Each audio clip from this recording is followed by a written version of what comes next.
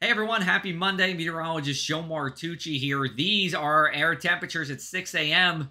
Where you see it's 34 in Hamilton, 35 in Millville. We have some frost to talk about there as well. Now, for many of us, not a big deal. Frost is something that just kind of goes away after an hour or two in the morning. But for our farmers here, and the season's just starting, frost can be dangerous, especially to these young and vulnerable plants. So frost is around till about 7 o'clock or so, and then we warm up very nicely on a southerly wind. Temperatures getting to the low 60s inland.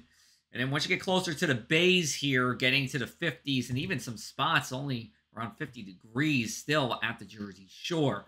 In terms of clouds and sun, well, we got plenty of sunshine here, a couple of afternoon clouds, and then we do cloud up as we go into Monday night.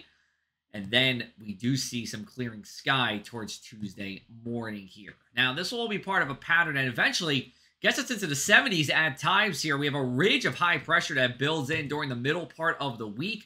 This will get closer to us as we go into Thursday, bringing us a southwesterly flow aloft. And as long as winds are from the south or the southwest at the surface, well, temperatures just jump up here. And we look at our seven day forecast and you see just that. 59 on Monday, yes, some spots well inland in the 60s, but then Tuesday, 68 degrees, 66 for Wednesday, 71 for Thursday.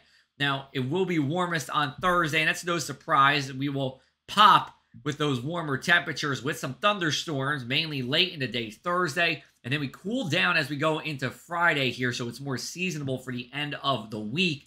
See at the shore, seven day mild for Tuesday, Wednesday, Thursday, going back to seasonable Friday and Saturday here and even Easter Sunday as well should be seasonable here, but it should be dry too. It could be our third week in a row where Saturday is wet, Sunday is dry here, and it looks to be another day in South Jersey as we go into our weekend where temperatures will be seasonable for that Sunday.